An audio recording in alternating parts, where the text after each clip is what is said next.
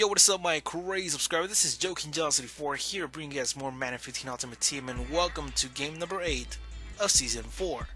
Now, if you guys saw my previous two games, Cam Newton and Colin Kaepernick got shut down in the rushing department. They couldn't scramble. Both of them got negative rushing yards by the end of the game, or when they rage quit, you know, when the, the opponent rage quit. And, um, you know, all thanks to Damontre Moore and David Clowney. They're doing a hell of a job containing those quarterbacks. So let me let you guys know something. A little bit of a spoiler yet again. I know me and my me, me and my spoilers. You know, I'm always telling you guys spoilers in the beginning of the game. Uh, this is gonna be another one of those games, like game number six and game number seven. How I shut down Cam Newton and Colin Kaepernick is gonna happen again in week number eight. And let me tell you guys why. My opponent had Colin Kaepernick, and seeing how I'm pretty sure he's gonna rely on play action rollout and scrambling towards the outside because he's calling in post routes and slants. I'm just gonna contain. And I'm gonna wait for him to go towards the outside and try to scramble with Colin Kaepernick because that's an easy fumble right there. So we're gonna be able to see more action from Jadeveon Clowney and Damontre Moore in this game.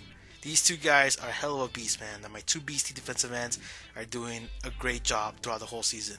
And also, Lavonte David forces a fumble and recover the fumble great tackle, great big hit, but the problem is that's like one out of 20 games he had participated in in my team that he does that.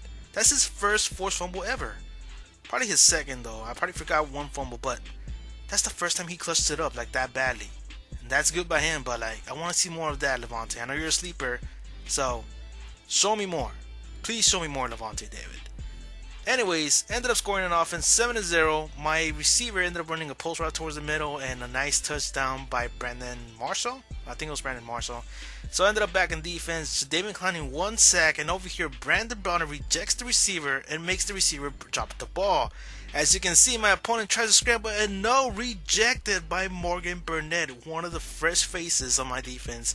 My two safeties, guys, remember, Micah Hyde and Morgan Burnett are fresh. These two guys barely have two games in, so they're making some kind of an impact so far. Some kind. They're not letting people throw deep or throw it towards Morgan Burnett's side, which is the right side, because it's sometimes having down below.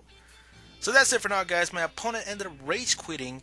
And also, I want to mention this, guys. I've been reading my comment section, and people are telling me to change my cornerbacks. I want to let you guys know something. Brandon Browner hasn't been beaten once, I believe.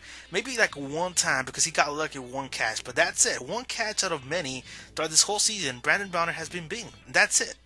The rest of the catches were either slapped down or intercepted. You guys can go back into game number two and see how many interceptions did Brandon Browner get for me, like around three. Antonio Cromartie, he will be replaced though, but with another 6 foot 2 corner. So that's it, guys. If You guys like the series? Make sure you leave a like, and also, you guys got any concerns or you want me to change somebody else? Make sure you leave a comment in the comment section.